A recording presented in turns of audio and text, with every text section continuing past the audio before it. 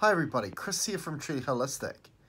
Now this video is uh, the second part to a video I released only about a week ago which was called The Mind is Not Your Innate Intelligence. And I've been getting a lot of downloads of information in relevance to the validity of that and also looking at the process of duality or what we like to call the game of duality and kind of who is behind duality, who is behind the mind. Um, we have full confirmation of what the mind actually is now, okay, and confirmation that the mind is not us, it's something external to us. Okay, so we're going to go through a, few concepts in this video, um, going into greater depth regarding that. Okay, so let's start off with um, the first part I want to talk about is what we call Generation 3, okay? And that is the reality that you are residing within, okay? And why we call it Generation 3 is because you have a signature or energy signature that you share with your soul family, right? Which are variants of you that exist in other realities. You know, quite often they're, com- they're called your higher self or higher selves. Um, it's essentially your soul family because, as I say, they share the same energy signature, so they are you, but it's you existing on other planes of existence, whether we want to call it dimension or realm or, or an existence. And so each reality is called a generation because how do we use generation here? We use that very much in a, a family context, don't we? Uh, older generation, younger generations. We call this one that you're seeing the Chris within this reality, and the people that are watching and listening, you are in generation three. Okay, so your higher self will be generation four, five, six, and so on.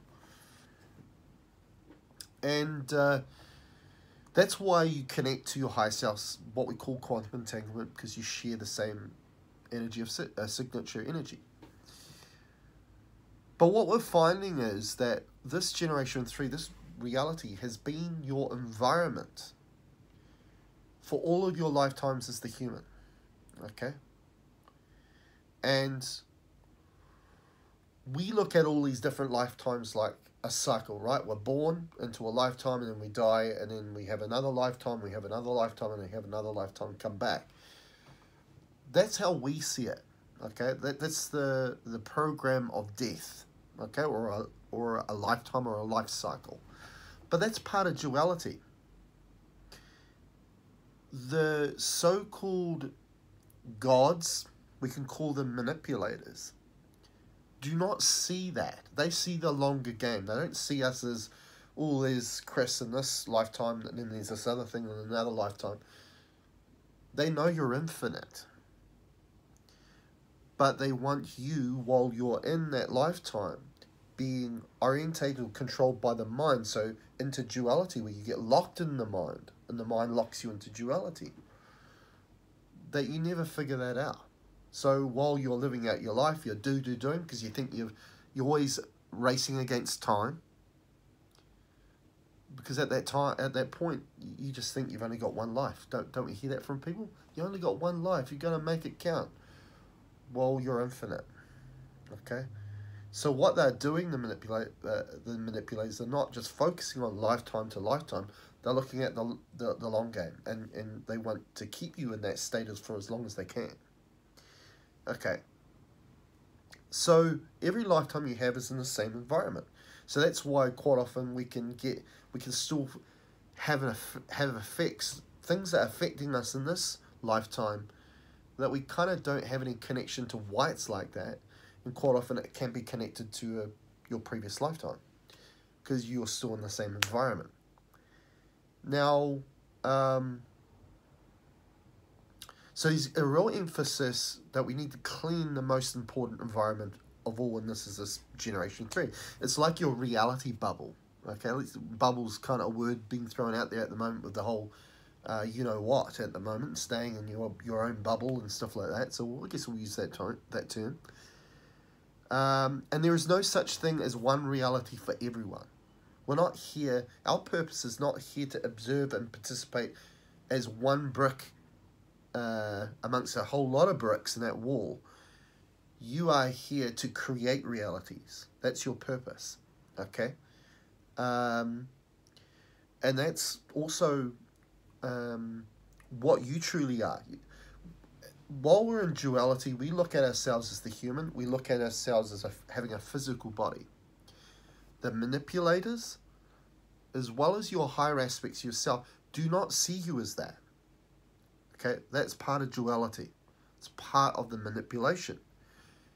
Okay, you are an interface to allow intelligence through it to then create realities. That's your purpose. Okay. Uh, okay. So this whole aspect of being part of a collective, right? This oneness notion is part of duality. Again, it's trying to allow conformity instead of you being able to connect to your uniqueness, your authenticity, we like to call it. Or we could call it essence. Okay? When we connect to that, you connect to your innate consciousness and it's it's kind of of the game for duality and for this intelligence that has been called the mind, okay? Uh, the manipulators.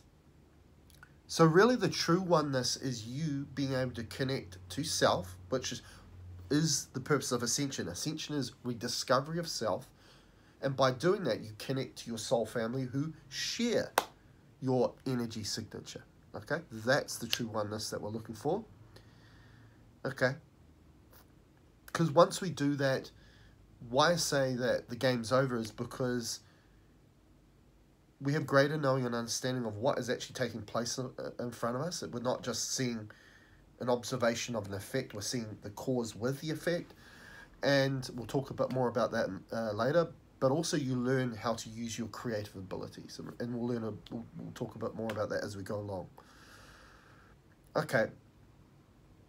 So, why this is important to really focus on Generation 3 as this ultimate environment is because whoever controls that environment will then control the expression of what is within that environment. Okay? We've seen examples of that. A perfect example is in epigenetics. Right? The study of epigenetics, mapping out the genome, is realizing that you know a gene is like a, a light switch. You can turn it on or turn it off. So what turns it on or turns it off? Environmental factors, okay? Will express that gene by turning it off or allowing it to remain dormant. Okay, it all comes down to uh, the environment. Another example of that is we look at the plant kingdom. The Brassica family, which you know contains like broccoli, cauliflower, kale, uh, kohlrabi, and a whole lot of those. They all originate from the original wild plant. But they're all different expressions of that wild plant. Now, how how how did that come about? Through changing the environment of the plants, what they're feeding the plant, what soil that plant was in, to change uh, uh, its DNA or its genetics, which is an expression of that original plant. Okay? Again, a perfect example. Whoever controls the environment then will control the expression of what's within it. Okay? Now, another term that's been coming up in regards to, again, if is geoengineering. Okay, we quite often hear the term geoengineering in regards to the planet, right? Is that with um, global warming and those sorts of things. Now, the de definition of geoengineering is the deliberate large-scale manipulation of an environmental process that affects the Earth's climate to counteract the effects of global warming. Now, let now let's let's let's just uh, we'll, we'll come to how the Earth connects with us, but let's say if we remove the word Earth's climate out of it, and we brought that definition and connection to us the deliberate large-scale manipulation of an environment process that affects The Earth's climate, what's that? An expression of the Earth, right? Okay, if you can see the connection there, right? So,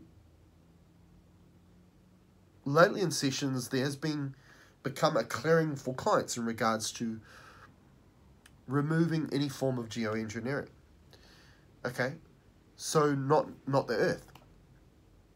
Now, one thing I must say about the Earth, okay, is that the heart calibrates the Earth, not the Earth calibrating our heart.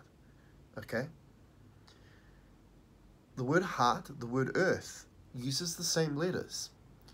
The H is at the start of heart because everything starts there, and the letter H is at the end of is the last letter in the word earth. So it starts with the heart and ends with the earth. Okay? For us to change what we think the earth needs or what this reality needs, where we have gone wrong, it doesn't change out there. It has to change within first. Okay? And that often gets missed. Okay? So, what we are seeing as global warming is an effect from a cause within us. Like the cause is here, the expression is what we're seeing out here. Okay? It's not caused by us. It's parceled this way to make us feel low vibrational. We'll feel guilty about it, right? But something is happening within us at a quantum level that then we then gets reflected out here. Okay? So again, again, this is just a plane of observation, the effect, not the cause to the effect, the, the effect. And what they're coming up with is just a guess, okay? Now, this comes to we the the idea that we're being terraformed, okay, which is the cause to the effect, okay, which then our reality will then reflect that as we are creators, okay? Okay. We create through intention, okay? Which then becomes reality. We create realities, as I said before. That's our purpose. Okay. Now, sadly, the reality we see out here, without duality eyes, two eyes, right? Duality is 0.035% of the electromagnetic spectrum of light. And that's only the light in this reality. There are more spectrums of light outside of this reality. Just shows you how little we really see. So, it's an observational plane only. Okay? If we put it in this way, with the duality eyes, we see the effect to the cause. We don't see the cause, we see the effect to the cause. But these eyes will not allow us to see the spectrum of the, the part of the electromagnetic spectrum where the cause lies within. Okay? So, for example, that's why in scientific papers, you look at summary, summary of uh, scientific papers, that they will always say in their summaries that we observed this, we observed that, which may mean this or may represent that. Now, the word may is uncertainty. What they're saying is they can see this, but they don't know why we're observing this. So, no understanding, no knowing or understanding of why. So, therefore, they're seeing the effect, but not the cause to the effect. Okay? Now, let's go to this the next section, and this is cre uh, creators of the mind. Okay? manipulators, and what they call deem themselves as gods. Okay, we're going to look at that aspect. Now, the first name I'm going to bring up is Daedalus or Daedalus. Okay, it's spelled D A E D A L U S. And straight away, when you Google search Daedalus, is it says that from the mythology, he was the creator of the labyrinth. Okay? Now, labyrinth means mind. Okay? Because the mind's purpose is to lock you into duality, where you are disconnected from your higher aspects of self, so that knowing that, understanding that you're always looking for, so you're kind of lost. It's what people would call a lost soul. You're trying to find your way through like this maze and you can't find the end. Okay? And I guess that's ascension, right? And that's why we've had failed ascension after failed ascension because my higher aspects of myself always said that we fail ascension because we were too logical, which means we're stuck in the mind. And we haven't seen the fact that the mind is actually not us. It's external to us. It's not us. Okay? So it's the creator of the labyrinth. So what we're seeing now in my sessions is we're not even using the word mind anymore. The word mind's a duality term. We're trying to throw away as much duality terms whatsoever, which is really masks. And we're removing the mask and we're seeing what the mind really is. And the mind's name is Daedalus. Okay? So we're removing Daedalus. We're looking for where Daedalus is accessing that person and we remove that too. Okay. Um, another one that comes up is Icarus, which is, again, in mythology, is Daedalus' son. Okay. Now, so what are these types of intelligences? They are intelligences. They just, what you need to know, you, again, we're not going to get too complex about this. We need to keep it simple because the heart likes simplicity. That's the way forward. That's the way we evolve. Get out of being too complex and logical. Is that it's an AI, okay? It's an intelligence that is foreign to you, and that's all you need to know, okay? It's not your innate consciousness. So they have their own agendas, okay? Now they are deemed considered gods, okay? Now if they are deemed considered gods in our history and mythology books, why do they need us to create for them? That's why we call them manipulators, because they created the mind, and the mind's purpose to lock us into duality. And the sum total of duality is to sabotage your own creative power. So therefore it creates more of what they want and less of what you want without you knowing. Okay. So when we say it that way, who really has the creative power? Who really is the God? It's not them, it's us. That's the game of duality. Is we are the gods, but we're so locked up in the mind and disconnected from our higher aspects of our consciousness, our intelligence, our true intelligence, that we never know that. Okay? So one interesting thing about Icarus, when I googled Icarus, first thing that came up on the list was it was a game, Icarus game, it's called The Future of Survival. Okay.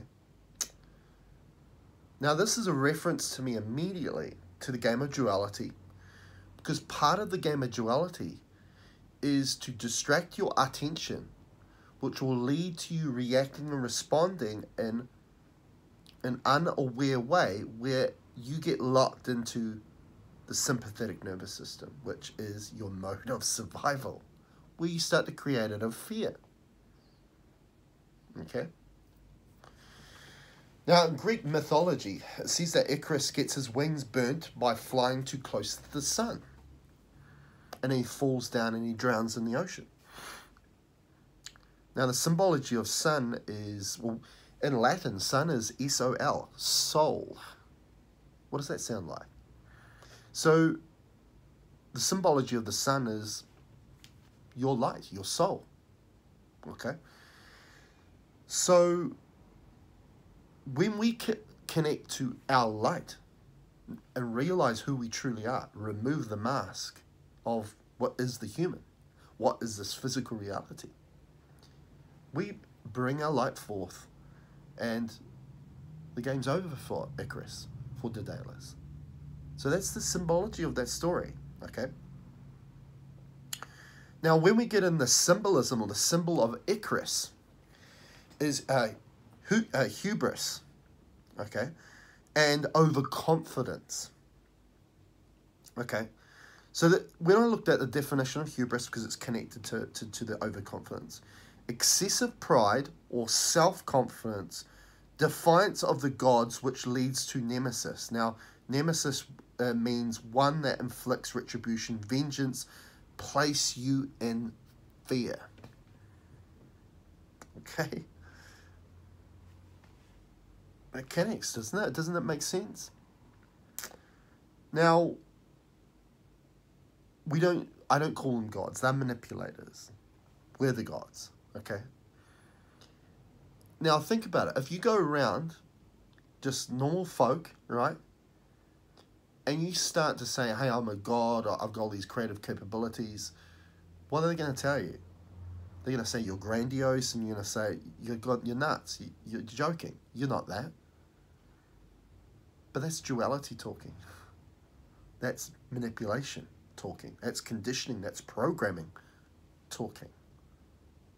Because it's, it's trying to stop you from thinking that you are that. Because it wants to limit you. It doesn't want you to know your true identity. Okay. So if the game is to manipulate us, well, why then? Why? Because they need our ability to create. Okay? Okay, so we are the creators. We are the creators. Okay? And they have used the game of duality, or what we call the game of duality, to manipulate our creative abilities. But you hold the power. You just need to be aware of it. Only if you knew it, right? Well, here at Truly Holistic, that's what we're going to teach you how to be. And this is unique. This is cutting edge stuff. There's not a lot of people talking about this stuff. Not that I'm aware of, anyway. That I know in my field. So, we've talked about the game of duality, right? So, that is the duality process. So I have a chart in my system that I use a lot within sessions, and it's called the Game of Duality chart, which kind of takes you step by step into how they manipulate you, how they trap you into duality. And the first step is distracting your attention because while you're here as the so called human, we there's a universal law where you place your attention you immediately consent your energy to be directed to that thing to create more of it so by distracting your attention away from the things you want to create and the things that you love because you love those things because it connects you into the heart and the heart is the way to your consciousness to your true identity to your authenticity if they distract you enough about all the problems that are going out in the world, one, it removes you from your true, uh, true self. So it locks you into duality, locks you into the mind, locks you into the sympathetic nervous system. So you're created out of fear, not out of love. So it's manipulating your healing, your creative ability to, to create chaos an energy that does not reflect your heart's desires. Okay? So, as I say, they'll distract your attention to get you to respond and react in a way. A lot of people come up to me in sessions and they go, Hey, I, I'm still getting challenges in my life. Well, we're supposed to. That's what allows you to learn and therefore grow. It's not about the challenges that come into your life. It's what's one, seeing that that they're an opportunity to grow, not that it's a problem. And two, that it's not that coming into your life, it's how you respond and react to it. Okay, which is a choice. But you have to have awareness when you are going to respond and react, because if you don't have that, then you'll re respond and react in a way that you get locked in the sympathetic nervous system, which then affects your intention ability, where you will sabotage your creative power to create more of the thing you don't like instead of the things you do like. Okay? Okay? Now, the sympathetic nervous system is just an extension or expression coming from the mind. Okay? Uh, I always say that sympathetic nervous system is your mode of survival, while the parasympathetic nervous system, which is the opposite to that, is your space to thrive. Okay? So they don't want you in your parasympathetic, they want you in the sympathetic. Okay? So your intention will reflect your attention. And then your reality and what you experience will then reflect your intention. It's a cascade of events. And as I say, all mapped out. Already have that all mapped out and I can help anybody with that. Okay? And that's quite often if we get stuck in that game of duality, we create a vicious loop for ourselves, which a lot of people find very hard to break. And that's understandable because we've been here many lifetimes as part of duality. Okay? Now, a perfect example of this is what we're all currently going through at the moment. You know what. Okay, and I'll just say it that way, and I think hopefully you understand what I'm talking about. A lot of people was wondering, hey, it's it's been around for like a year and a half, two years now. When, when is it going to go away? Well, the reason why it's hanging around is we've got billions of creative forces with their attention on it every moment of every day. And when we have our attention on it, we are feeding it our own energy, energy we will not get back.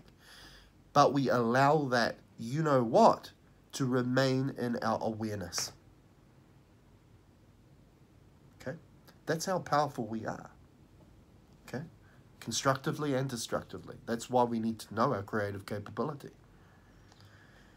Now let's get into the next aspect, or the last aspect, and this is to do with computer virus connection. For anybody that's done sessions with me, they'll understand that I look at ourselves as like a computer. As my higher aspects have told me, stop looking at yourself as a physical human body with all this compartmentalization of all these different systems and areas that make up you. Instead, see yourself as an interface. Now, when we look at a computer, what else can we call it? An interface. An iPhone, an interface. Okay? Why, know, why are we seeing such a drive in phones, iPhones, and all this technology? It's an extension for an intelligence. AI have been using that. Right? Just like you. You are an interface to allow an intelligence through it. Okay? Now, has anyone seen the movie Inception? Okay. Now, the whole movie is about, it was all revolved around planting an idea. Okay, deep into someone's subconsciousness, okay? Okay, in that movie. Because their life can be then fully, fully formulated around that specific idea. So they're kind of being manipulated, right? Because it's been planted there. Okay, that's programming and conditioning, right? Now, the way I see this is that ideas can be planted lifetimes ago. As I say, as, a, as, I, as I told you before, that they see the long-term picture. It's not just about this person, this lifetime, this person, lifetime. They know you're infinite. Okay? You might not know that. Hopefully you do now. Um, so they plant these ideas, conditioned programming, which still have an effect on you now. That's why it's so hard to break. It has had an effect on you for many lifetimes. Understand that the intelligence that has controlled humans or humanity it sees the long game, as I, as I said just before. Okay? A perfect analogy is like McDonald's. McDonald's advertise for the young, for the little, the young children, because they know that if they get them into McDonald's, they'll have a customer for life. Okay? Anyway, let's move on. Now, this is a definition of a computer virus. And please just think about what we're going through currently, right, in the world with you know what. Virus writers use social engineering. So we were talking about geoengineering before, right? Virus writers use social engineering deceptions, aka distraction of attention, right? Right? And exploit detailed knowledge of security vulnerabilities, aka putting humans into fear. That puts you in a state of vulnerability. Okay? To initially infect systems, cells, organs, body, and to spread the virus. Put others in fear. Okay? Now, this was deemed motives for creating viruses from the same page I got that definition from of a computer virus. Includes seeking profit, desire to send a political message, personal amusement. Well, I presume the manipulators find it quite amusing. To demonstrate that a vulnerability exists because that's control. For sabotage and denial of service. So what do we what and when we're in that state, what are we doing? Sabotaging our intention, our creative ability. Or simply because they wish to explore cybersecurity issues, artificial life what do we call intelligence that's not our innate intelligence, our consciousness? Artificial intelligence, right? So the mind is the access for AI because the mind's not us, okay? And evolutionary algorithms. So an evolution of controlling the environment, which then controls the expression of what exists within that environment. Right? Okay. So, one last thing I'll mention here, and this is really brand new, is that um, in my charts I'm dropping all the compartmentalization of the body. I was told to drop it all because it all comes from the library of duality. So instead of seeing auditory system, respiratory system, cardiovascular system, digestive system, all the different components that make up within those systems, which is all logical, complex, which is a mind creation. It's not nothing to do with the heart. It's nothing to do with the fact that you're an interface. Okay.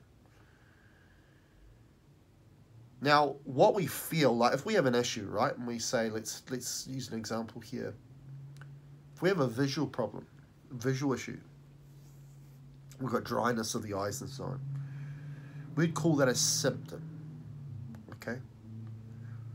Now, what we're finding is that that is just merely an expression of the body that has come about due to what or who is controlling the environment that you exist within.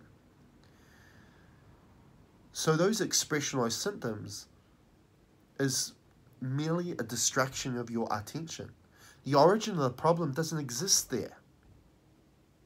So for healers, they'll go there, oh, we're going to work on the eyes and so on. And that may work to a certain degree, but we're not removing the root of the problem by doing that. Again, that's a it's it's it's a tactic of the game of duality, of these AI intelligence, Daedalus, Icarus, and so on. It's it's merely and plus when what's the what's the law in regards to attention? Where you place your attention, you direct the, your energy to create more of. So if your attention is going to the, a certain area there, there's always a problem. What are you doing?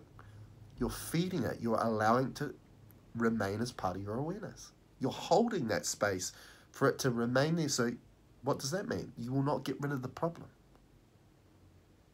Your energy is going into keeping it keeping it there without you knowing that. Okay? So, by seeing yourself as truly what you are, as an interface, like a wholeness, a doorway which you are enabling flow of your light, your consciousness to come in through to then create, because that's your purpose here. Then, and removing that idea that all these compartmentalization of the body, you may feel a symptom somewhere, which is an expression of, of, of that. But there's no little box for you to place it in to hold it there because there's there's only flow. Okay, so you can see how you will not hold that as part of your awareness. So it immediately is immediately is just forgiven, let go of. Okay, so we're going to be doing a lot more of that uh, in session work, and it's working a treat so far. So really, what this emphasizes again, the importance of environment. It's not necessarily about the specifics. It's about those specifics that you're then feeling as a symptom is just an expression that's coming from somewhere else where the origin of the root of the problem and a lot of the time is based on what is that environment because that environment will control how that thing expresses itself within the environment okay And I gave examples about that before. So I hope you really enjoyed this video. I know it's been quite lengthy, but a lot of information. Okay, and this is where Truly Holistic is going. And I feel we're really cutting edge at the moment. Okay, because it's not acceptable to try and resolve duality problems with duality solutions. That's what Einstein said and defined insanity. Doing the same thing over and over again, expecting a different result. I don't want to be part of that. Okay? So if you want true growth, true evolvement, true ascension, book an appointment for healing or coaching at trulyholistic.net. T R U L Y H O L I S T I C dot net. Now, for people that have had sessions with me before and haven't done it for a while, this is we're looking at things in a completely new way now. I think it's a, a massive step up. My charts are completely changing. We're simplifying. And what that tells me is that we're just working solely on root, original problems or what we need to work on. We're not working on the superficial stuff. We root, pull the roots out, everything else will come out with it. Okay? And along the way, you will get the information to be empowered to know truly who you are and how you can use your own creative capabilities. It's exciting stuff. Also, please like the video, subscribe to my channel here. Um, until next time.